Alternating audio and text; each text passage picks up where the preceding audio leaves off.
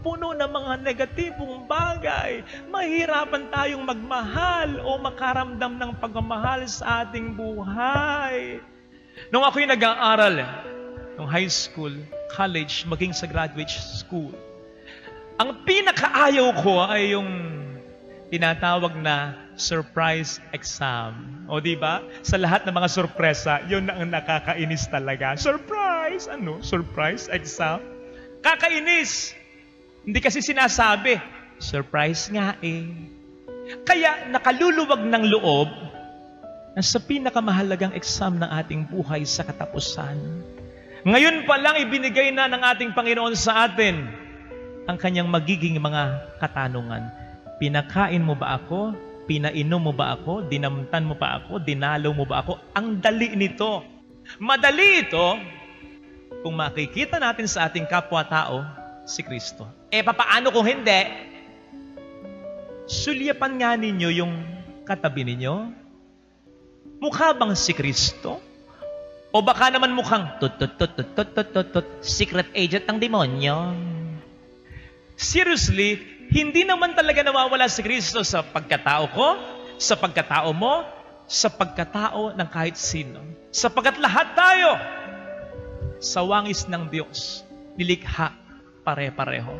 It's just that through the years, in one way or another, naka-experience tayo ng pangit na karanasan sa ating kapwa-tao.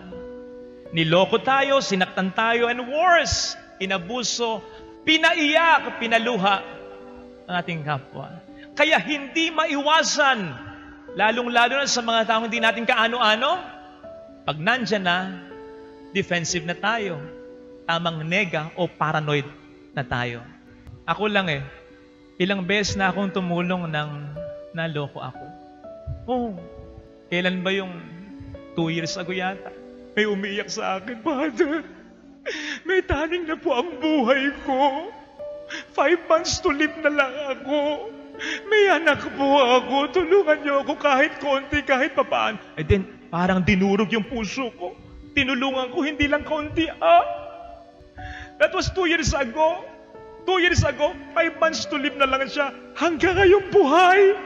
Abay, syempre, Father, ano man naman kung gumaling? Ay, thanks be to God.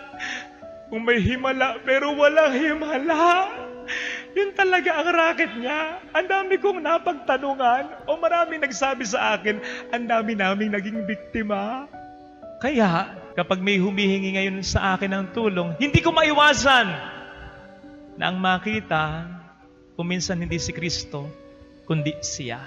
Sa paglipas ng mga panahon, maaaring we have let our hearts be filled with bitterness, with sadness, with doubts, with hatred, with anger because of these unpleasant experiences in our lives and in the lives of others.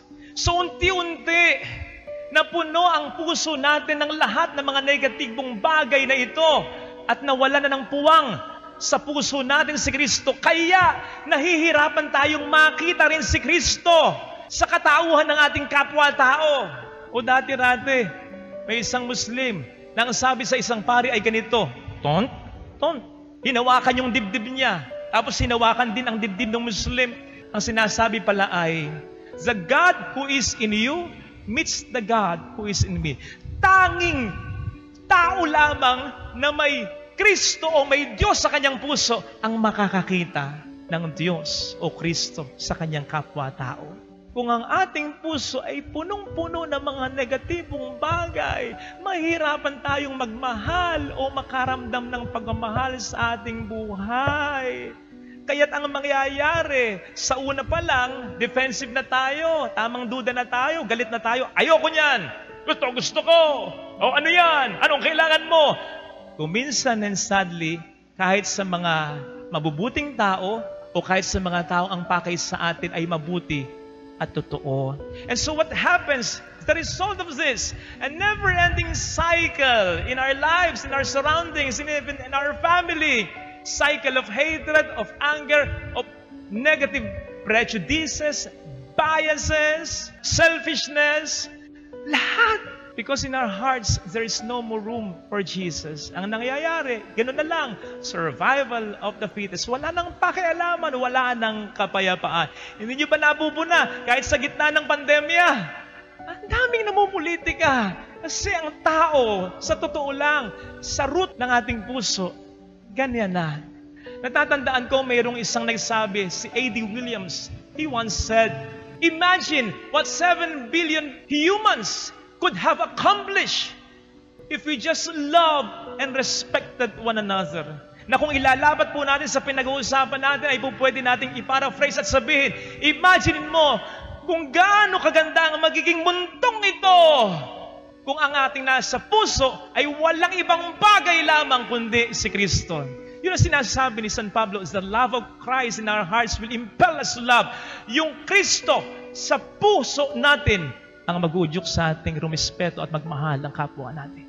Brothers and sisters, alam ko, wala na tayong magagawa to avoid these negative experiences. Laging dadating yan sa buhay natin.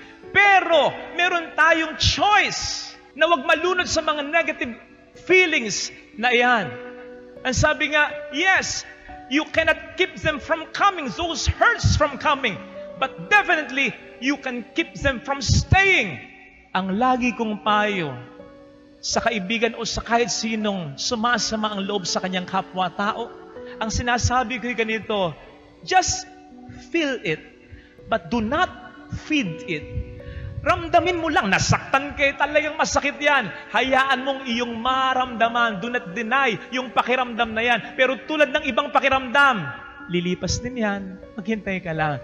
Yun nga lamang, wag mong pakakainin, wag mong aalagaan, wag mong itatanim ang sama ng loob na yan, wag mong didiligan sapagkat sa huli, ikaw ang unti-unting lalamunin yan. Look at Jesus. Napaka-perfect na example, si Kristo. Kasi isipin po ninyo, may mga papangit pa ba sa mga nangyari sa Kanya? Wala na. Wala. Siya na ang pinakamabuti sa lahat pero nakaranas ng pinakamasaklap sa lahat. Nagalit ba siya? Yes. Na-disappoint ba siya? Yes. Na-frustrate ba siya? Na-disappoint ba siya? Nawalan ba siya ng gana? Yes. Pero hindi niya pinili na manatili yan sa puso niya na maapektuhan na ang pakikipagkapwa-tao niya. Nag-preach pa rin siya. Gumawa pa rin siya ng mga himala. Kumain pa rin siya sa bahay ng pariseyo. Nakihalupilo pa rin siya sa mga makasalanan. Nagbigay pa rin siya ng mga himala sa kanyang mga sariling kababayan. Kahit anong una, siya'y nawala ng gana dahil sa hindi nila pagsampalataya. Pinagtiwalaan pa rin niya ang kanyang mga disipulo sa kabila ng kapalpakan ng mga ito. And here's the thing. Imagine, hanggang sa siya'y nakabayubay sa krus, isipin po ninyo, mamamatay na lang siya, hindi pa tumitigil yung mga pangit na pangyayari sa buhay niya. Iniwan siya ng kanyang mga itinuring na mga kaibigan, ng mga kapamilyang alagad. Nililibak siya, minumura siya, hinihiya pa rin siya. Mamamatay na lang. Pero anong ginawa ng Panginoon? Imagine this.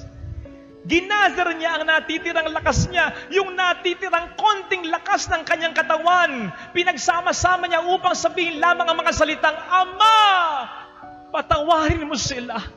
Hindi nila lalalaman ang kanilang ginagawa.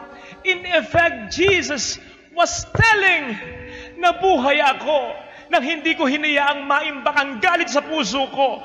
Mamamatay ako nang ipapagpag ko rin ang mga ito. Hindi ko hahayaang isama ang mga pangit na karanasang ito sa hukay ko.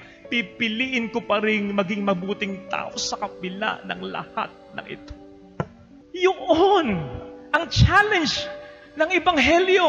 When we say challenge, dapat medyo nahihirapan tayo. Kasi isipin po ninyo, kung magpakain lang, magpainom lang, dumalo lang sa may sakit, nasa bilangguan, ang ipinapagawa sa atin, literally, ng ating Panginoong Kristo. Dali nito. Alam mo na agad ang paglilingkuran mo? Alam mo na agad ang gagawin mo? Eh baka pag naggaganon at na-perfect natin ito sa harap ng Panginoon, baka hindi na tayo mabigla. Dito nabigla yung mga hinirang eh. Panginoon, kailan po namin kayo nakitang nauhaw?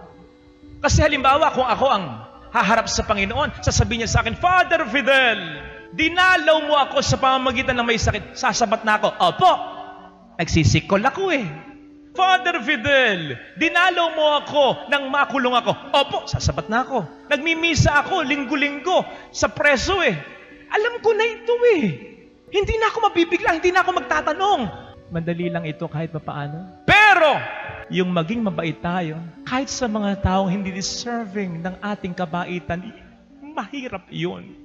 Sapagkat mahirap makita sa kanila ang ating Panginoon. Pero hindi nga ba, yun ang tunay na kabaitan. Kaya nga tayo mayroong ekspresyon, apakabait niyan, walang masamang tinapay.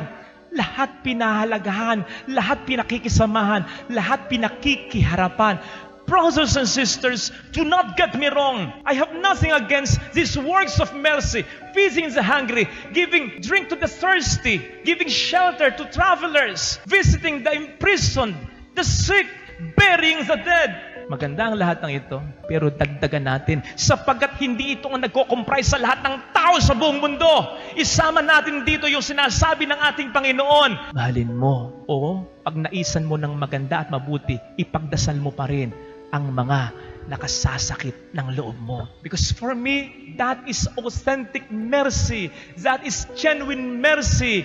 Genuine, authentic mercy is best shown to people who neither are asking and are deserving of our mercy.